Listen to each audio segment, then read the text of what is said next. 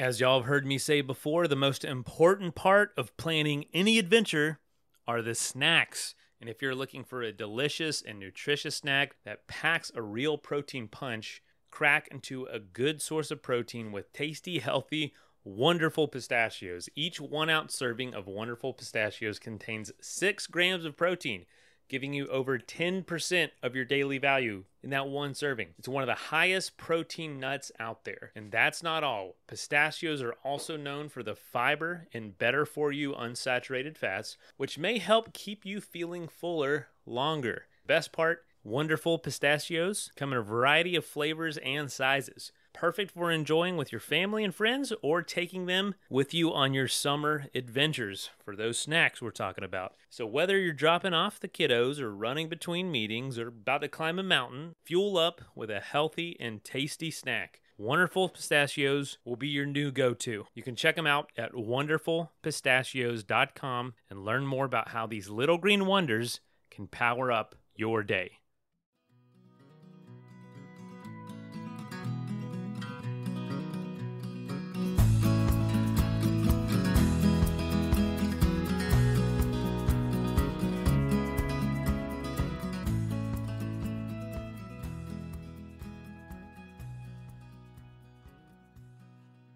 Hey, folks, welcome to the Adventure Sports Podcast. I'm your host, Mason. Today, we're throwing it back all the way back to episode 200 back in 2016. And it's a Throwback Thursday episode, of course. Kurt is the host at the time, and we're talking about scuba diving and adventure travel through scuba. And, you know, I, I'm from Florida. I was when I when I took over this show, I was living out in Colorado. That's where the show was born and raised, as I like to say. Um, but it has since moved back to Florida with me. And as you know, there's a lot of water here, and our planet itself is surrounded by water. Basically, two thirds of the world is covered in water. And I just went to the aquarium here in Tampa or near near us in Tampa, and it just it's such an amazing place. The water, it's just we think of it as at least me as this horizon of blue or just you know this impenetrable kind of medium, unlike the mountains that you can like go explore. To me, when I see mountains, I'm like, I can I can walk over there, I can go over there, and there's all this stuff in between. And almost wrongly, don't make that same assumption about the ocean uh, or about all you know water in general until I do go snorkeling or uh, kind of peer into that other side of the water with something like goggles. You know, those things that allow us to access it open up this world. And I'm falling more and more in love with, with water, and, and I, I need it now. I didn't realize how much I needed it when we were out west, but water is just fa- fantastic. So I've almost kept scuba diving at arm's length because I'm afraid of how addicting it seems. It's kind of like climbing. Anybody you know that's like really into climbing, it's like a drug. Eh, they just sell everything. They're all in all the time. The whole dirtbag culture, it's a real thing. And it almost seems like it's out of their control. And I, it seems like that with scuba divers too. The people I know that that scuba, it's almost like spacewalking. You just can't understand it until you do it. You're just in this suit, breathing this air. You can't hear anything. You're transported into a different dimension. It seems like is what they describe it. And so I don't know. I'm afraid that it's going to just capture me and never let me go, and then all that's where all my money and time goes from here on out. Anyway, I'm gonna I'm gonna dive in a little bit more. No pun intended with this episode. I can't wait to hear it. I've actually never heard this episode, and uh, I'm excited. Uh, pun intended. Let's dive in.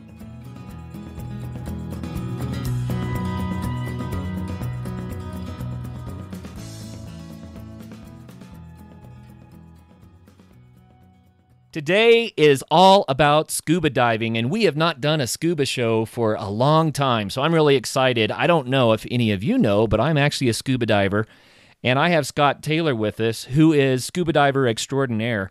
So Scott grew up in Colorado, and his father in law ran a scuba shop. So Scott became a physical therapist.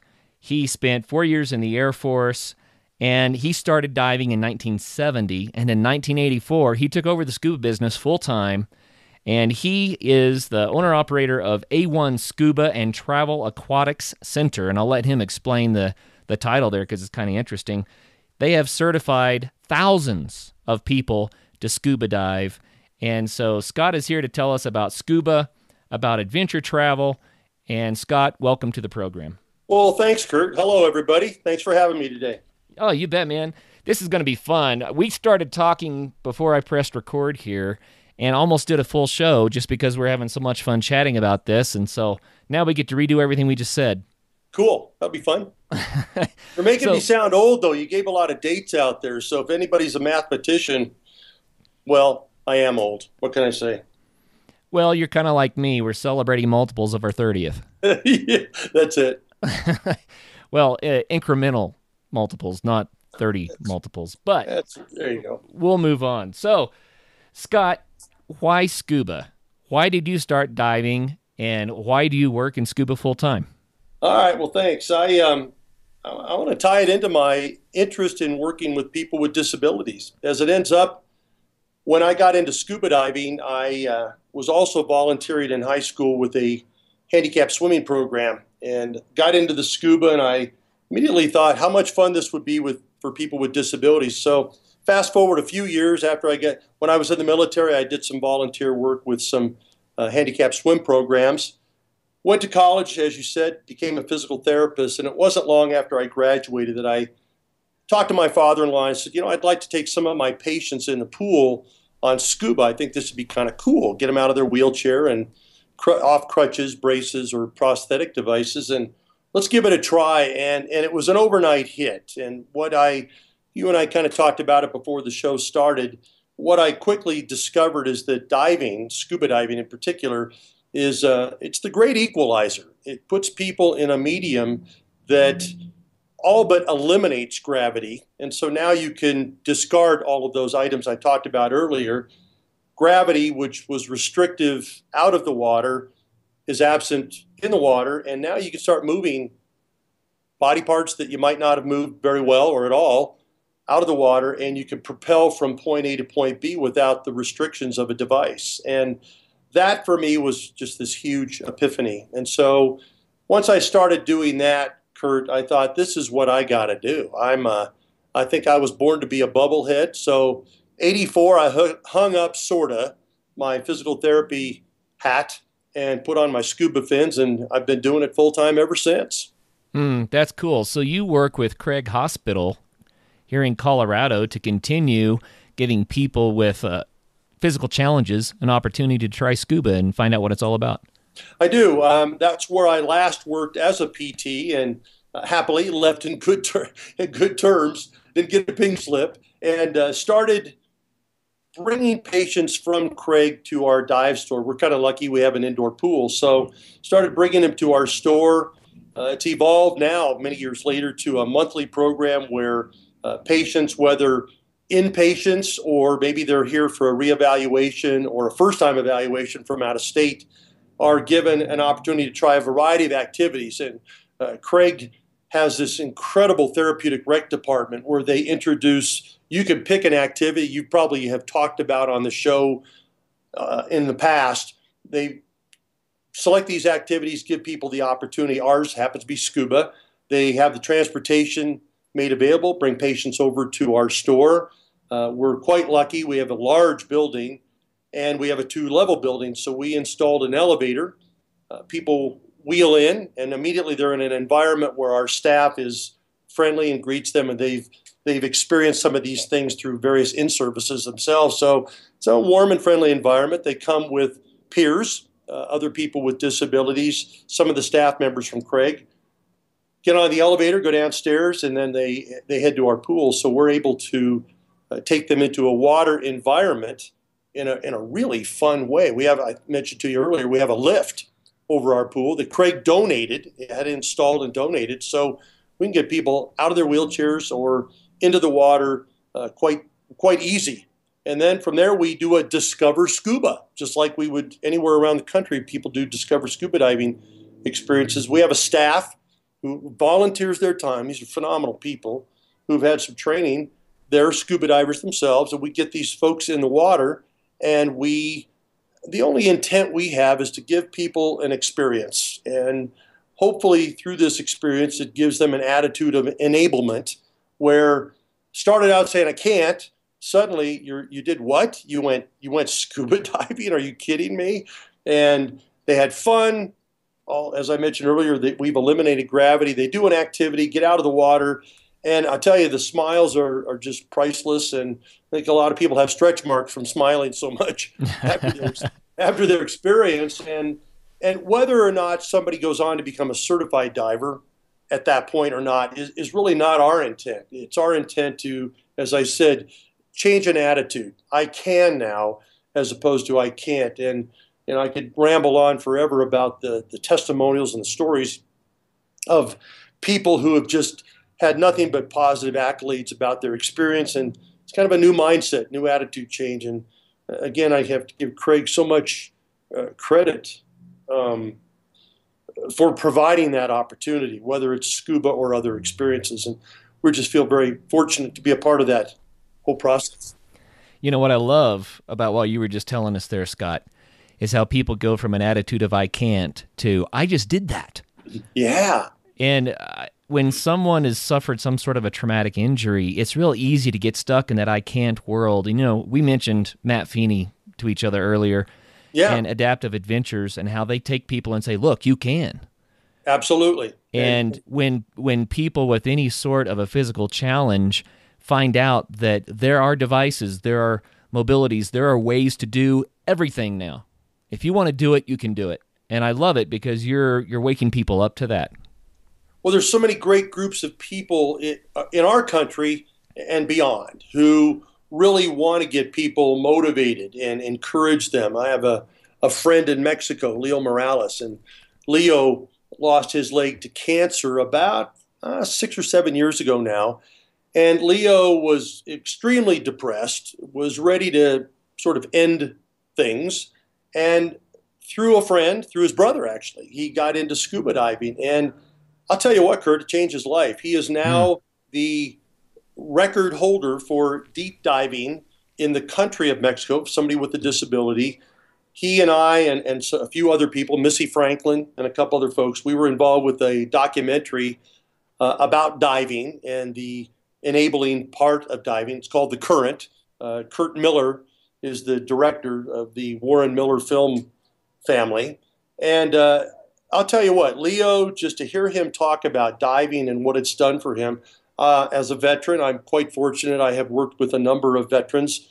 As we both know, as we all know, uh, PTSD, combat PTSD is terrible, and there's been suggestions of you know multiple suicides done daily. 22 mm. I'm hearing a day, and that, that could be simply rumor, but there's there's a lot of need for therapies out there, and there's a number of groups in our country who are taking veterans with PTSD and getting them into scuba. Uh, there's a group called Waves, for example, out on the West Coast here in, Calif- in California, who are taking veterans now and changing their lives, changing their sure. attitudes through scuba of all crazy things. So, yeah, sorry, I'm rambling, but I think there's so it's a great recreational activity. It's a very therapeutic, exciting adventure activity too. You know what's funny about that, Scott? We used to almost always ask the question at the end of our show so what good is it? What are you doing for the planet? You know? And you answered it first and really it's amazing to to find out with almost any adventure sport the benefits that are available to people that get involved with it and the way that the sport can be used to challenge people to draw people out to give them a new perspective Let's talk about perspective. There's one for you. Scuba sure. diving is a completely different perspective. What is it like to be under the water? Well, Kurt, uh, it's uh, it's pretty cool. It's you know I've already sort of given you the whole freedom spiel, but I think to see the stuff. I mean, when I've been within inches of whale sharks, wow. massive critters underwater. I've I've dove with many, many sharks. Still have all my appendages, all my toes, etc. I, I feel blessed to see these and little tiny critters too. I've traveled from many countries across the, the earth uh, to just go scuba diving. So the colors, the the critters that you see, it's mind-boggling. Again, dating myself, I'm kind of the old Jacques Cousteau era guy. He's who he's who really got me going. The underwater world of Jacques Cousteau. I'm sure some of the listeners can can relate to that. Or Mike Nelson in Sea Hunt. I mean, I was I was one of those. I love those all the knife fights and the spear gun stuff. We don't do that, but I thought it was kind of cool at the time. And the James Bond movies always have those cool dive scenes. I think it's just this underwater adventure where we're not talking, we're, we're hearing, we're seeing, we're doing, we're, we're experiencing something that, you know, 75% of our planet's water. And to be able to go underwater and encounter that is a, what a privilege that is. Oh, yeah. I couldn't agree more. You know, we were joking about how much scuba has changed. And Scott, I want to tell the story that I told you I was going to tell. I've told it on the show once before, but it's worth telling twice. And then you can tell everybody how it's not like that. Sure. Can't wait. so I learned to dive from a buddy who was an avid diver years ago. And he was old school. He learned Navy SEAL methods. And that was pretty hardcore.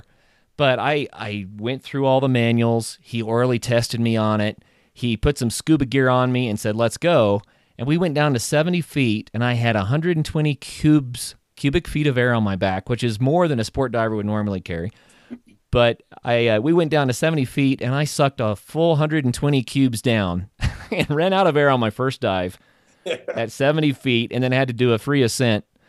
And so and that was in kind of a dark murky lake. I mean it was it was an amazing experience and i, I had a ton of fun doing it but that's not the way it's taught these days no hallelujah i mean uh, you know you, you're right back when i learned in the late 60s when i started it was all hairy chested guys and you know it was like henry ford it, what what color you can have any color piece of equipment you want as long as it's black so, right so it was all that black heavy bulky dive gear. And it was a, a, sport that evolved from the military. It was the Navy SEALs out there. It was all those, you know, wartime activities.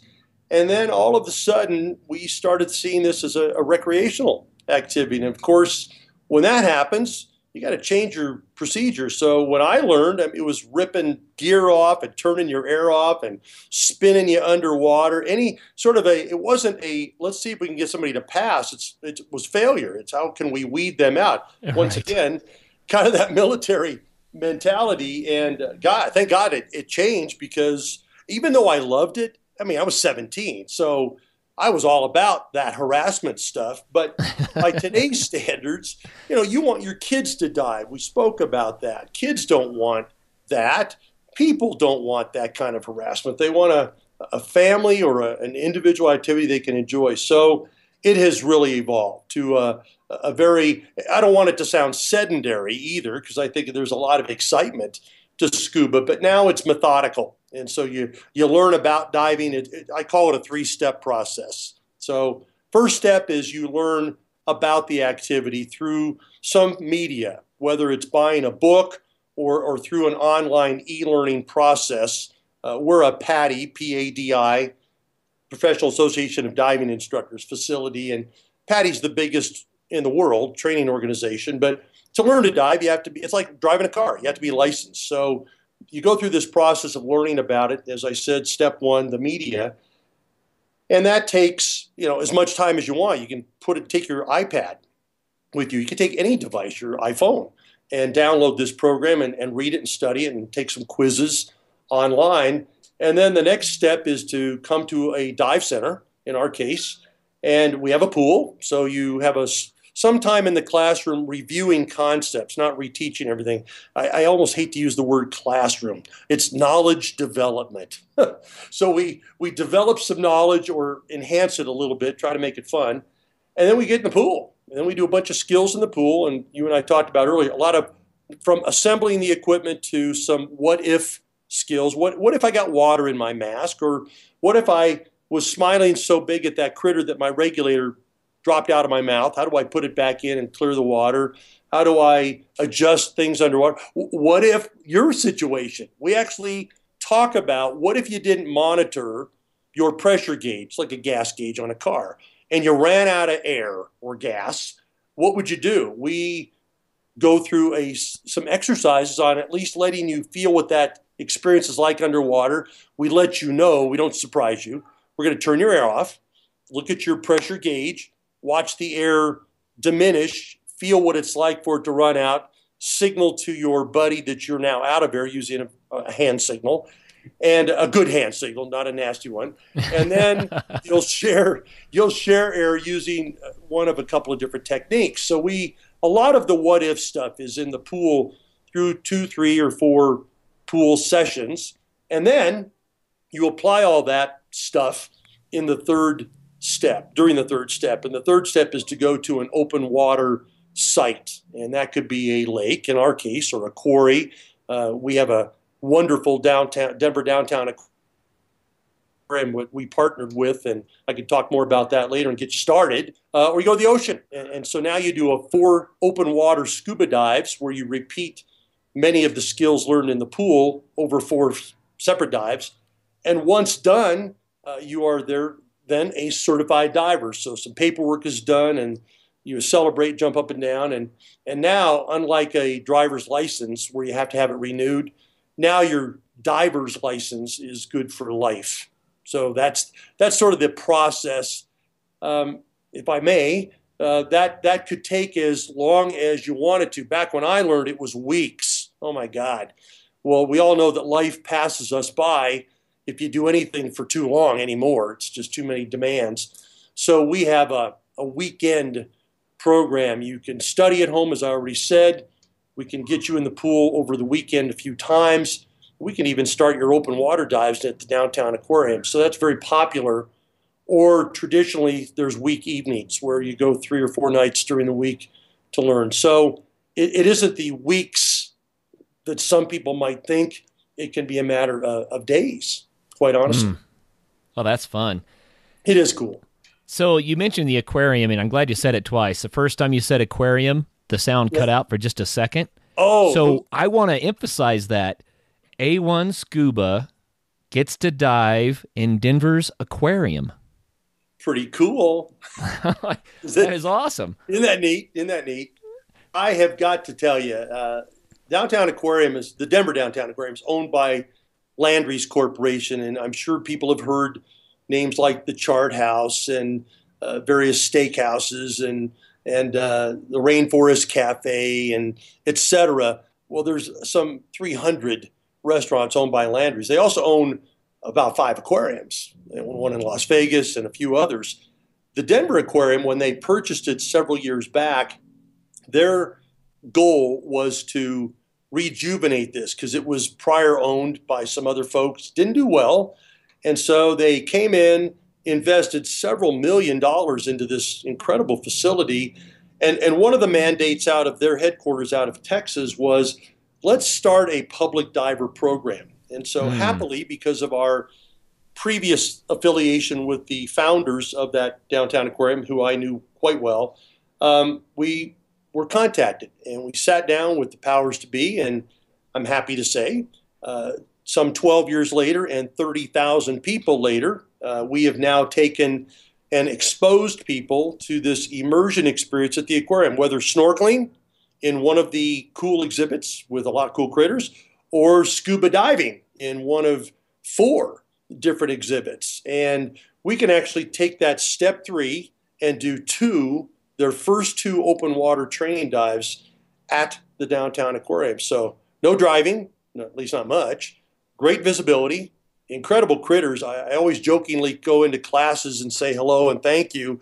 And I always, how, how, many of you are doing your open waters at the aquarium? And they'll raise their, their hand. I'll go, well, there is a downside. And you kind of get this grimace on their face. I'll say, you're never going to see that many cool critters ever again up close. so then they smile, of course. It is kind of true. You never will. So, what a great way to begin an activity in sort of ideal circumstance, like going skiing on an indoor play, uh, indoor ski hills that they have around the country now, and get started on the right ski or the right fin uh, correctly, and that's what we get to do. It's nice to have a safe, controlled environment where people can get a feel for it and like any other skill, scuba diving requires some experience for it to start to feel normal and natural and, and kind of automatic. And that's what you want. You want to know what to do. You know, you don't want to be surprised and not know what to do when you're diving. And what a neat thing to be able to do it at the aquarium. That's so cool. Yeah, yeah, it's uh, it, it is a great activity. Let's take a quick message break and hear from the folks that help make this show possible. I'm not the most fashionable guy out there, but I do know good style when I see it. And I do take pride in looking nice at work and uh, out on adventures. I want to look the part, um, but I don't want to be thinking about the gear all the time. And that's why I love Roark. They've done the hard work for me. It's bold, bright, beautiful gear and clothing uh, that's adventure ready, but also work ready and office ready and, and kind of daily life ready.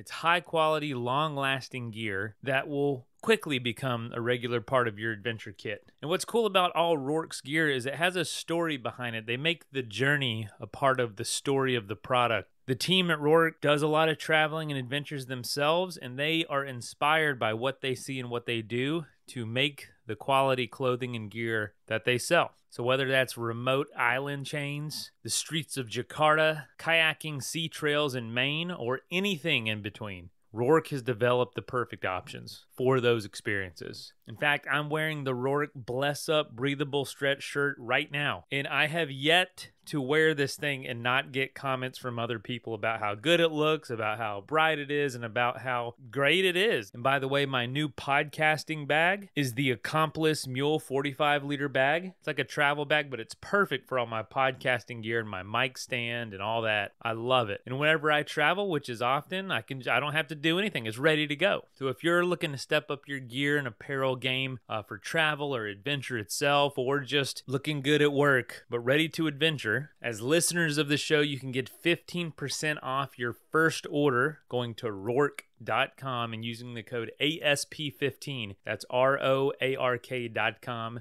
promo code ASP15 for 15% off your first purchase. That is plenty of that for now. Let's get back into the episode. Here in Colorado, where I am, we have one of the largest number of divers per capita in the country. And I'm always asked why. Why is that? And well, it's because of A1. No, just kidding. Uh, it might be. I, I, wish it were. I have a lot of competitors, and I have a lot of great competitors, so I can't. I, I sure wouldn't diss any of them by any stretch. I think it's Coloradans are adventuresome, outgoing people. They love to do indoor and outdoor activities, and and with so much available to us here, uh, our aquarium and other things that I've mentioned, and, and the DIA. Let's face it, you can get DIA. Hopefully, some way you can get there by public transit, and uh, you can get to wherever your destination is. You can head to the beach in a matter of hours in some cases, and be scuba diving. So there's that's why we're so fortunate. We have so many great opportunities here in Colorado. Yeah, I think you're right. You know, and in the wintertime when the snow's not very good, which usually it is, but if the snow's not very good, then people like to have that alternate activity, especially when the winter starts to get long and they want to soak up some sun anyway. What better thing to do than to jump a plane for some beach somewhere and do some diving? Oh, I'll tell you, we all need a vitamin D hit every now and then, don't we? And oh, I right. do. Those short days in December just drive me bonkers. they get a little long. Those short days get long.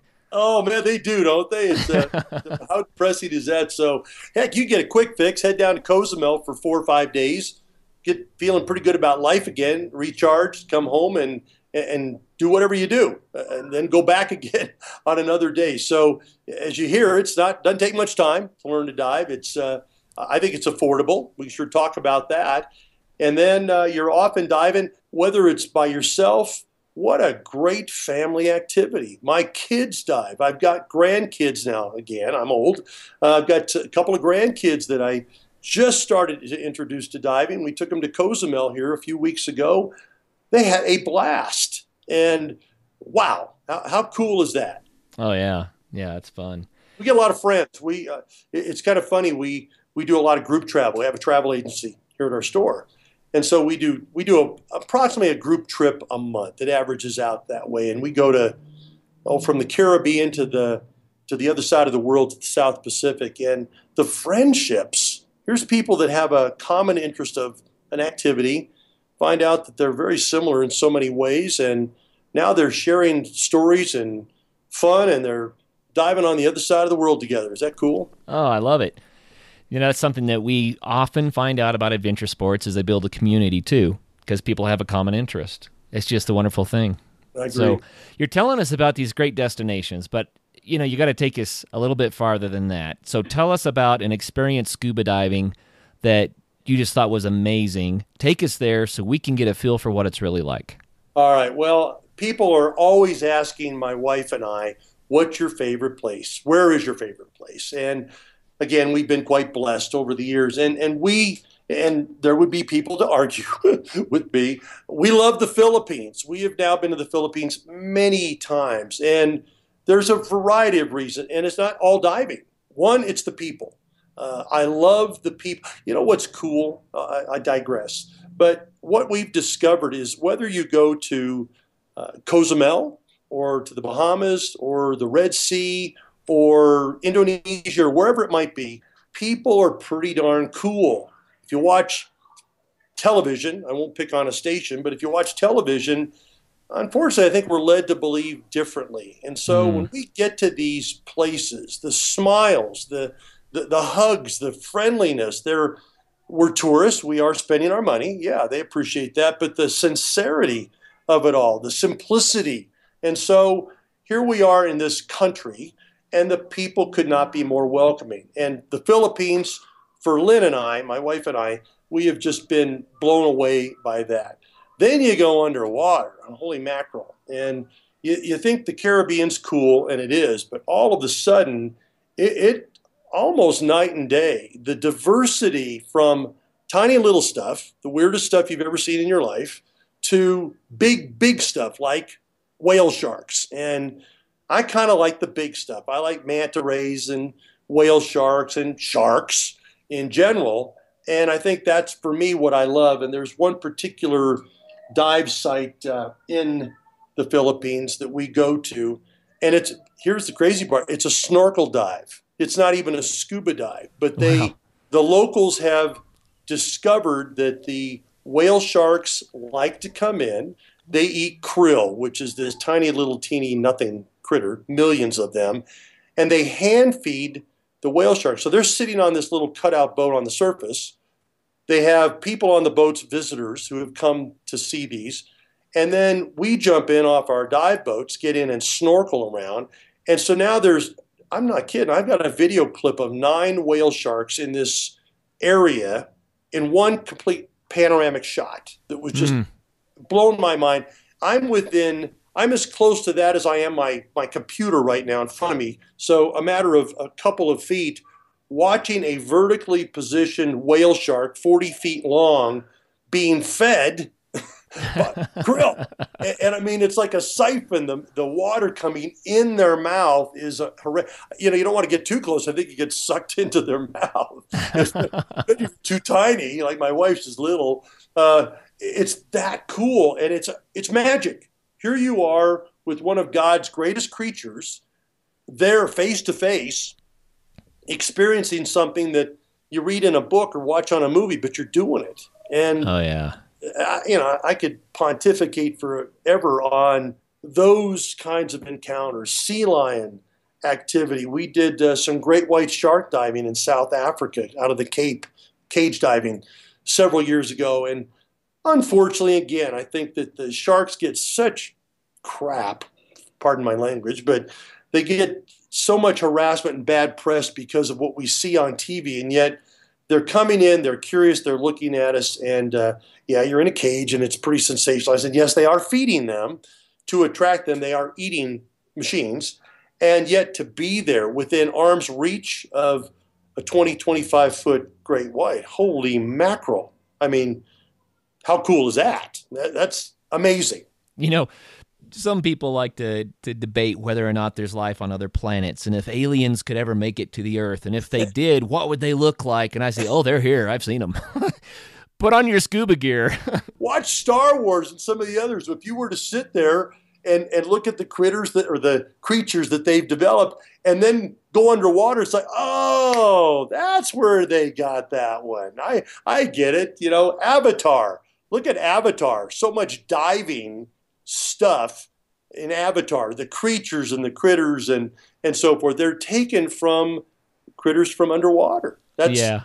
that's where they've gotten all these great ideas. Well, it's one of my favorite things about scuba diving is here are these animals that are are made to a, to adapt and survive in an environment that is so completely foreign to us mammals, you know.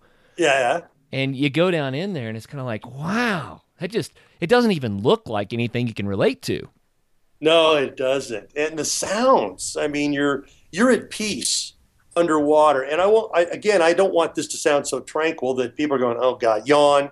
Uh, it's not a yawner by any stretch. And uh, I'll take you to the Galapagos, Galapagos Islands.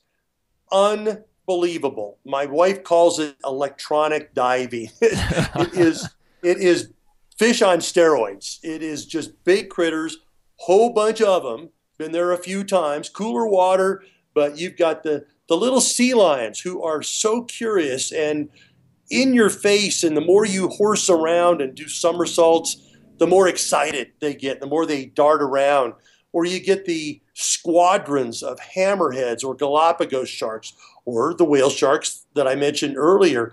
That's stuff that you only hear, and again, you hear about it, you read about it, you see it in a movie. To go there, you can go there as a diver and, and be on a boat 14 hours from the mainland in the sea doing your thing. I mean, how cool. I, I love that ability. You can see what Darwin saw back when, you know, back in the day, hundreds of years ago, and see where he came up with his theory uh, of evolution, which happened there. Wow, it's a privilege. Hmm. Sounds like neat stuff. So you've traveled a lot. You've seen a lot of stuff. You've told us about amazing places to go, and that's enough to make people want to dive, whether they're divers, you know, if they're interested in the water or not. It's just the travel that would be fun. It is. It's uh I don't know if getting there is any fun. You know, we've we've had to struggle through airline changes over the years, but I, I have decided that's just part of the deal. It's so worth you, it.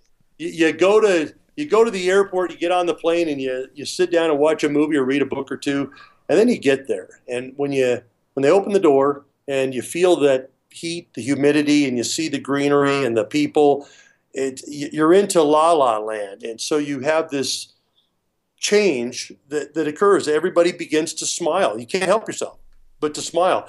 And then you frown. Everybody starts frowning the day they've got to go home. Then they get on this darn cell phones and start checking messages and emails and everything else. But it is it's it's a transformation, Kurt. It truly is. Well, Scott, I can tell by your enthusiasm that you love what you do and you're doing what you love.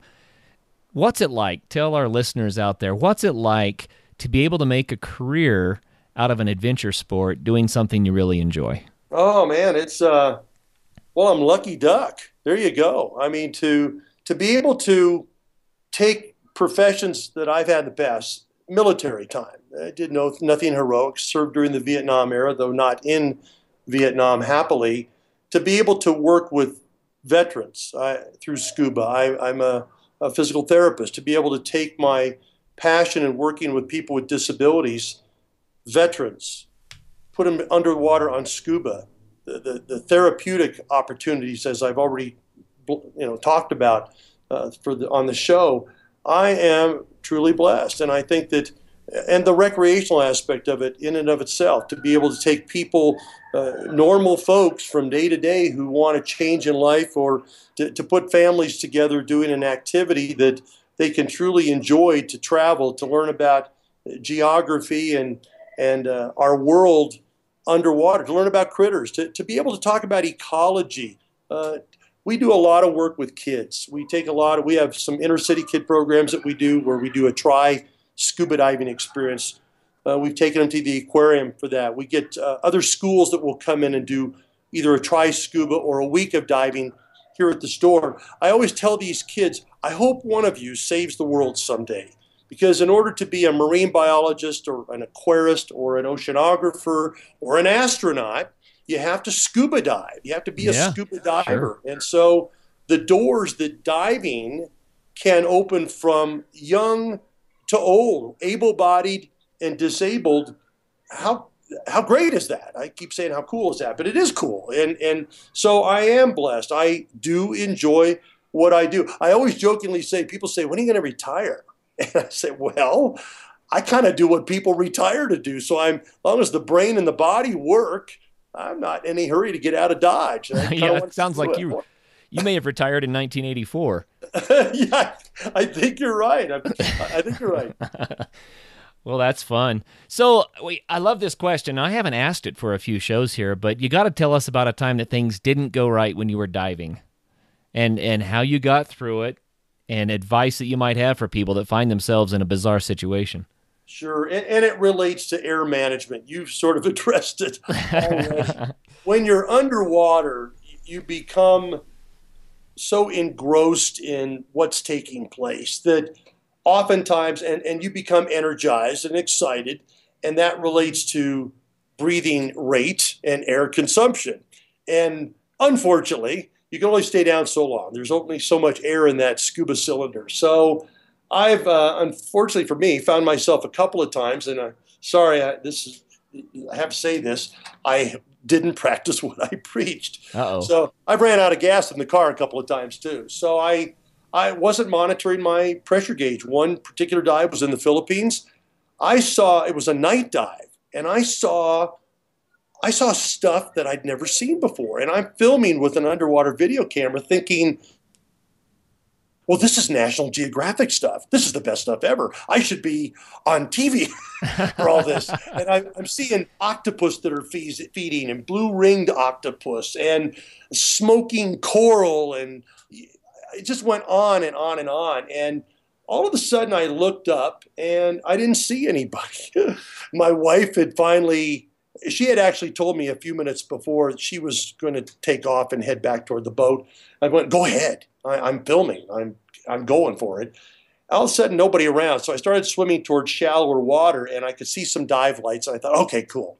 And I got over close to the uh, other divers, and another thing appeared underwater, and I'm just blown away by this magic that's happening. And uh, suddenly, there's nobody, no divers around, and I took a breath. And you don't abruptly run out of air. That's the good thing right? Uh, as you probably discovered. There's a warning. It's like the engine starts to sputter.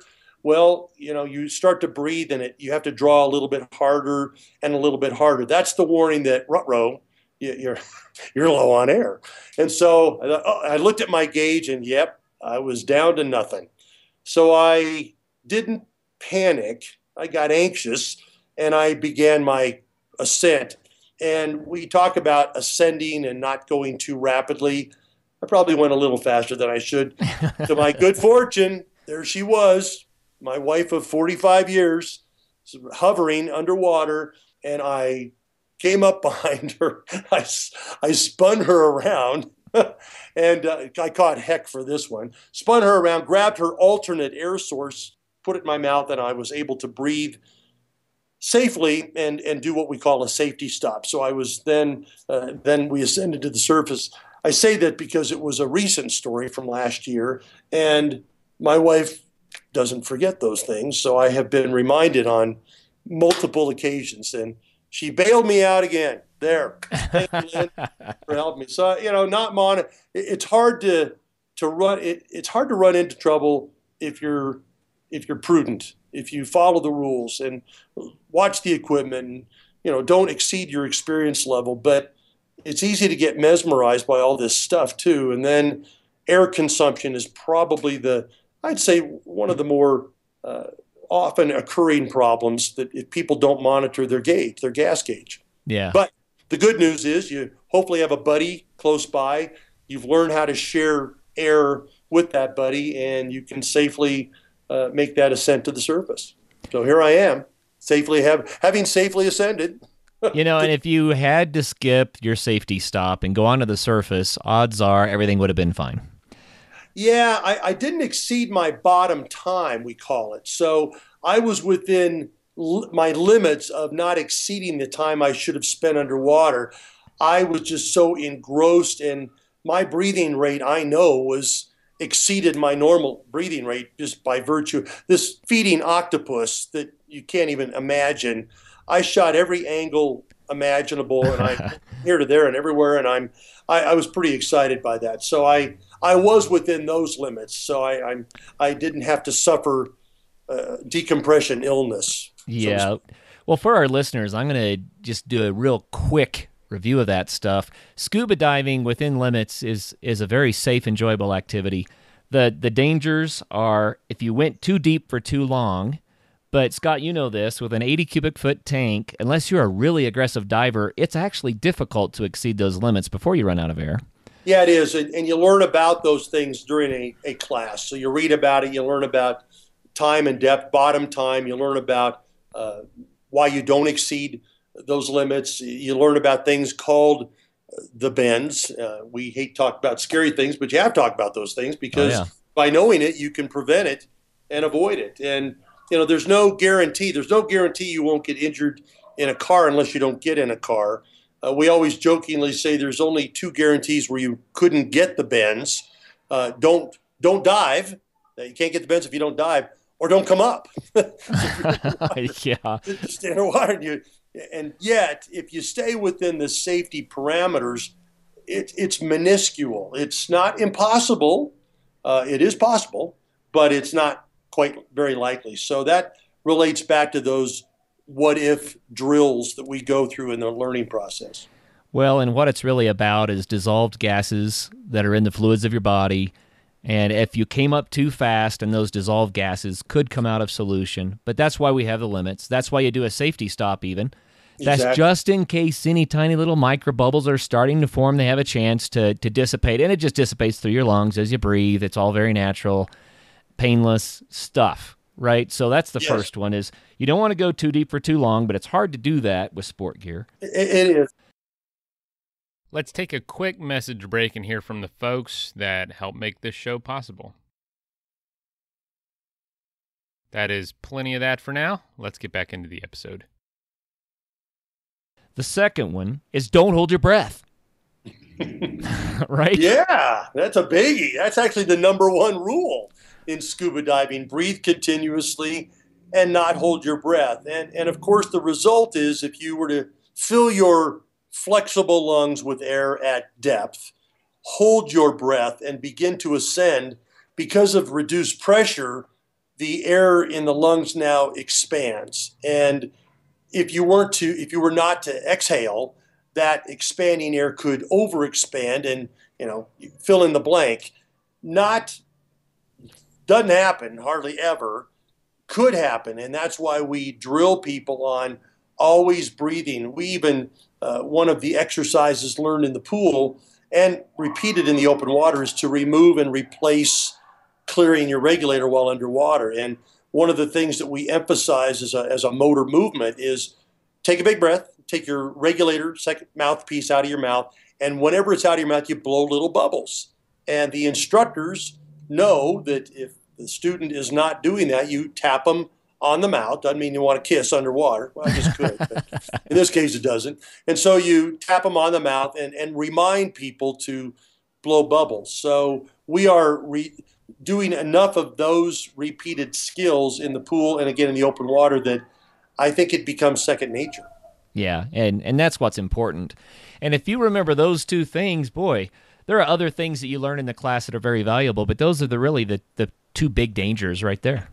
I think so. We again, I mentioned ecology and the environment. We we spend a great deal of time encouraging people to not touch things, don't grab things, don't harass uh, the critters. Stay off the bottom. Don't bump into the to the coral because coral is a live animal. And every time you accidentally or intentionally bump into these things, you you damage the reef. So we're trying to emphasize through diving and through teaching diving how to properly encounter the critters. You know, it's like you go up to the mountains and you see the bear. Well, you don't jump out of the car and run over to the bear and harass the bear because the bears may do something defensive, and that happens underwater. If you harass something underwater, the chances are you could get bit or stung or scraped, but it's it's a defensive mechanism. The Oh, yeah. animals underwater don't they just don't attack. That's not what happens. You know, I was in Pennekamp, Florida, and I was trying to take a picture, and I was slightly buoyant, and I did the stupid thing. I put one finger under a little piece of coral to stabilize myself. I should not have done that. It was it was a bad wrong. But a week later, the skin fell off my finger. Oh, it was fire coral. naner, naner. I said, all right, now I know. You're right. don't don't touch, right? yeah, yeah. I, I'm sorry to say I've done the same thing. You know, people years ago we used to we used to wear gloves, uh, diving gloves or some sort of glove. That was the big thing, and oh boy, I, I wore them too. And then what happened is you felt bulletproof Right. underwater, and oh, I've got a glove on. I'm going to go touch and grab and and feel for this feel this item underwater. Well, guess what? That you you just damaged or maybe killed that something. So as you already pointed out, now we're bare fingered, and and we try to be very conscientious and cautious. Then we don't Oh, get yeah. hurt. Well, I tell you what, floating around or through the chasms of coral reef with every color of the rainbow, you know, in the coral, all the different shapes, they're just so alien and new to us.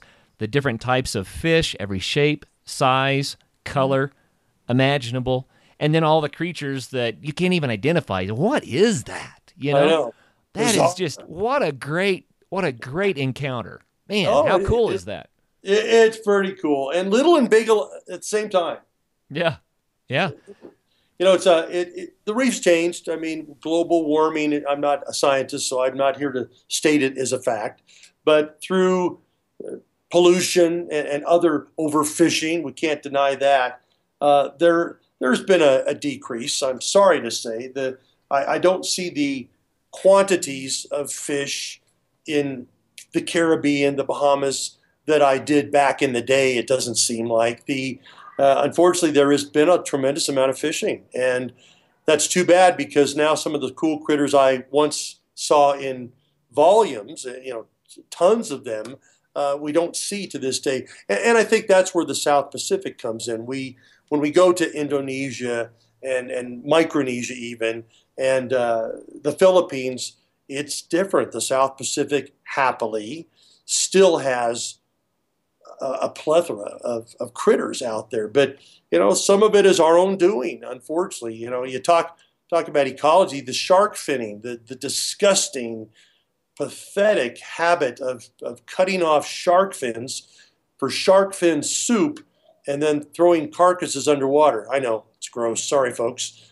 Um, you know, those are the things we're trying to educate people. Don't do that, and and shame on them for doing it. Maybe a shark today, from a tourism standpoint, is worth thousands of dollars for people to see the live shark, as opposed to the fins in a bowl of soup. And the soup, I am told, I've never tasted it, never will, uh, has no taste. They have to add stuff uh, to, to, to make it to give it flavor. Isn't that crazy? So it's going to taste like tomatoes and onions and paprika, maybe. I don't know. It, it's just pathetic, though, when you think about it. So uh, I think the divers, we are sort of the ambassadors to the underwater world. So we can go out and through our activity, through what we witnessed and experienced, we can go tell people, go do it. It's fun. It's enjoyable for all the reasons we talked about. And and let's let's be careful out there. Let's take care of those reefs and those critters so that our grandchildren and great grandchildren can can also see them. And uh, it doesn't. I'm not trying to sound heroic here. I'm just trying to sound use your common sense, and we can do that. I I think we have that ability to do just that. oh yeah. Well, I, I don't think I could have said it better. I I've said this often before, but I think the best way to get people aware of taking care of this wonderful planet we live on is by getting them out into nature so that they they become familiar with it and appreciate it and understand how fragile it is and how the ecosystems interrelate and you know the symbiotic relationships and how all of these things have to come together for this beautiful beautiful blue marble that we all you know call home it's getting people involved on that level that makes people understand and want to take care of it Agreed. But if you could see me now, I've got two thumbs up. I mean, I- right on.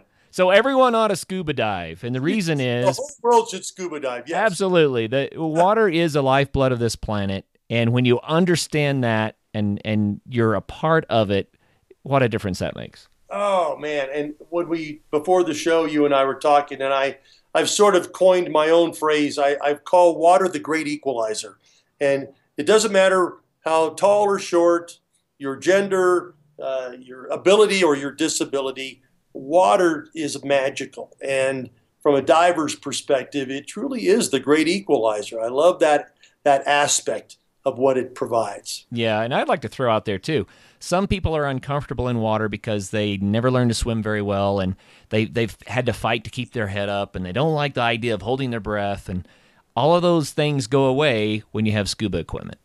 You know, it's true. We've had a number of people, uh, well, again, are, are people with disabilities who they weren't great swimmers before they became disabled. And now they're going to go in the water on scuba as someone with limited mobility and, and this epiphany of holy moly, I, look what I just did. I was free. I actually moved underwater. And I think it, it relates to good equipment and, and good instruction. And both exist today. And uh, it's, it's across the world the training yeah. organizations, and all of them. I, I, have to give tip my hat to all of them. They do a really good job. It's methodical, it's logical, it's uh, it's not rocket science by any stretch, and so I, I, it lets people experience this activity in a pretty succinct manner. Oh, that's great. Well, Scott, we could go on for another two hours, and God, we need to get could. together sometime and do that. I hate talking about this, Kurt. I can tell. Hey, can I give you my greatest experience? Yes, please. I got to give you just one last one. Okay. If I could, I, I just wrote it down. Um, this year uh, in October, and the Arizona, the USS Arizona, it relates to that. Uh, Pearl Harbor, the USS Arizona will have been commissioned 100 years ago this October. Wow. I want to say the 17th, but I, I, sorry folks, that might be wrong. And then on December 7th, Pearl Harbor Day, this year will be the uh, 75th anniversary. So 100th year from the commissioning, 75th year uh, since the attack on Pearl Harbor. We have a very close relationship with the National Park Service, and in particular, there's a dive team for the NPS. This is their 100 year anniversary this year. They're celebrating their uh, birthday this year. One of the uh, primary people involved with the dive team uh, invited last year my wife and I to join them on a on a dive uh, expedition of the USS Arizona. And I mean, it's still, I still have to pinch myself to think that we actually got a chance to do this. And so we were, we had been to the memorial before. And if folks, if you haven't, you got to go. It's it's the most emotional thing I think anybody could ever do. Mm. Um, we got to go out to the Arizona four different days in a row and help set up for a, a, an underwater filming project that they were doing. And, and I have to tell you, to go underwater, it's not a beautiful wreck, and it's not meant to. I don't want to suggest it would be a beautiful wreck, but knowing what it symbolizes and knowing what took place underwater, um, it, it's just an amazing feeling. And to know that there are so many souls and, and left underwater from these these people who who sacrificed their lives on our behalf is pretty emotional. And to see some of the artifacts that are still left on that wreck was, I don't know, amazing experience for me. So when anybody asks me, what's your best one? Give me your best one. What's the best one that ever happened? That's it. Did it last year, and I feel blessed and privileged to have done it. You know what? We should have you back on. You know why? Because we haven't talked about advanced certifications. We haven't talked about wreck diving. We haven't talked about cave diving. We haven't talked about a lot of things that scuba can lead to. So we'll we'll have to have another show sometime, Scott, where we can get into some of those details. I would appreciate it, and and I I really thank you for giving me an opportunity to talk about scuba. For those of you that are divers, you've been nodding your head through a whole bunch of this. At least I hope you have been. I hope you haven't been shaking your head back and forth. And if you haven't, wherever you are, uh, check it out. Uh, go do a Discover Scuba Diving experience at your local dive center. Try it out. See what it feels like, and and uh, hopefully you'll you'll start nodding your head and you'll agree with everything that I've just said. It's a wonderful activity. It's a great experience, whether as I've know, family or not. Uh, do it. Uh, give it a whirl, and I think you can. You'll discover just how much fun this really is. Oh yeah, no doubt about it. And you can always get a hold of Scott at a1scuba.com. That's a1scuba.com, and they have a travel agency there. They have certification programs. They have a store that's full of all kinds of wonderful things. So a1scuba.com is, is where you can find Scott and learn more about all this. Thanks. Thank you, Kurt. Been a blast. Been a blast. oh, it's a lot of fun. And thanks for your time today. And for all of our listeners out there, you know, I say it every show, but I mean it. Get out there and have some fun because it might just change your life.